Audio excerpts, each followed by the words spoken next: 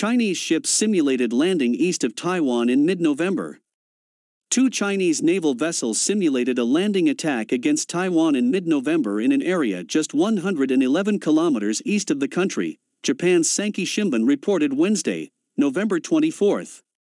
The ships were seen maneuvering in waters near Japan's Okinawa and Yonaguni, as well as Taiwan, according to the report. Both were amphibious transport landing dock ships of the Yuzhao class, also known as Type 071. After moving south between Taiwan and Yonaguni on November 14, the ships lingered in the area east of Hualien County, but it was not clear what they did there, according to CNA. The Japanese newspaper explained how a Chinese attack was more likely to target Taiwan's west coast, as the east coast features numerous steep cliffs and few spots easy to land.